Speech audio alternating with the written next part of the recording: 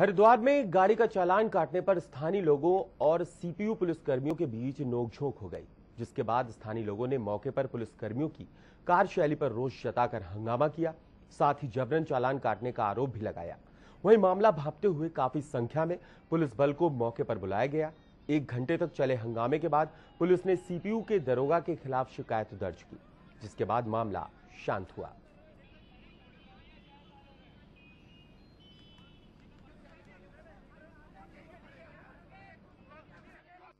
नेता आगे पूछ रहे ना विपक्ष का आदमी आगे पूछ रहा। जनप्रतिनिधि हमारे सारे पड़े सो रहे हैं। टाइम पे आ जाएँगे वोट मांगने के लिए है ना?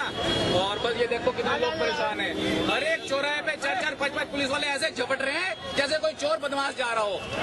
ऐसे झपट रहे हैं लोग पे। और यहाँ कोई देखने सुनने वाला ही नहीं है, है? सरकारी गुंडे पैदा हो रहे हैं सारे।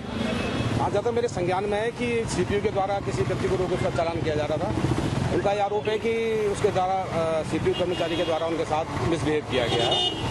और इसके विरोध में जो है वो यहाँ पर उन्होंने कुछ वार्तालाप हुआ धीरे धीरे भीड़ जमा हो गई और काफ़ी संख्या में भीड़ जमा हो गई है। समझाने के बाद कि जो भी इसमें उचित कार्रवाई होगी, जिस, जिसका भी दोष होगा, उसके खिलाफ उचित कार्रवाई होगी। इसमें जो है इन्होंने अपने जो ये यहाँ पर जो धरना टाइप का था, इसको डिस्पर्स किया है। और अभी मामले की मेरे पास एप्लीकेशन आई है, इसकी जाँच कर रहा हूँ। जो भी जाँच में दोषी होगा, उसके खिलाफ कार्रवाई